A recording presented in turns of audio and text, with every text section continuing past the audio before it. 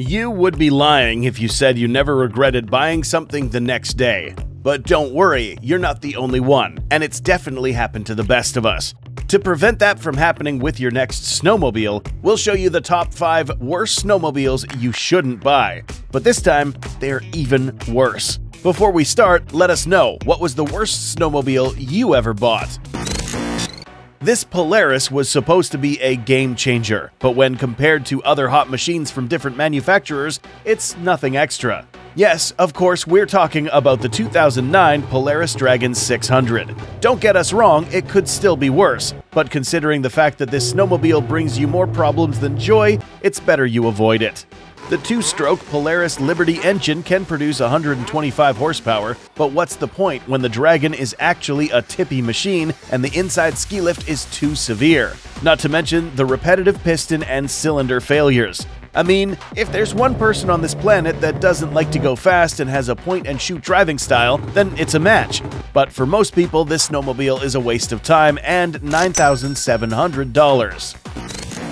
Now this is more of a killer machine that will get you to 130 horsepower in no time. The 1994 Thundercat from Arctic Cat is a classic that was the fastest snowmobile in its best years. But times change, and the only thing this snowmobile is left with is poor suspension and many issues. Another thing is that this machine is huge. Like, we get it, thanks to that it has excellent stability, but imagine trying to move 270 kilograms from one side of the garage to the other. It's safe to say that these modern times are full of light and small snowmobiles that allow drivers to do anything that comes to their mind and enjoy their ride to the fullest. That means this $8,700 Thundercat just doesn't do it anymore and has already lived its best years. If you don't want to be disappointed, don't buy this machine. Like, really. The 1995 ZRT 800 ranks third place on our list, and thanks to the bad reputation, it definitely deserves it.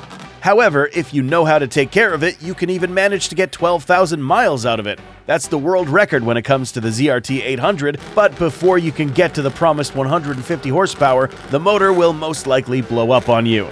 This ski mobile is fire, but not in a good way. So if you want to invest $8,000 and drive carelessly through the powder, the ZRT 800 is not the best choice. The second place ranks not the worst, but still really bad snowmobile the 93 Ski-Doo Formula Plus. The first thing you simply can't overlook is the bright red color and a not so aesthetically pleasing design. But those things wouldn't matter if everything else was perfect.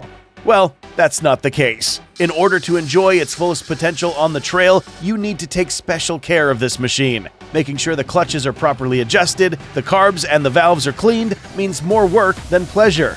But I mean, that's what you get with an older ski mobile for $5,600. Also, because of that, you can't expect much speed from this old boy. As all the facts state, this sled's horsepower is only 75. So if you don't want to be the only one everyone is going to make fun of, choose a different killer machine. The first place for being the worst snowmobile ever is taken by the 2002 Yamaha SX Viper. Reportedly, one venomous bite is all it takes for performance junkies to discover that this is one serious machine. But if you'd purchased it yourself, you'd soon find out that it is more like one venomous bite and you're done. First of all, it's even possible that you won't be able to go for a ride whenever you want because it is a pain when trying to start, especially if it's been sitting around in your garage for a long time. It will need like 2 to 40 pulls, so you have to be a patient person if you want to own one.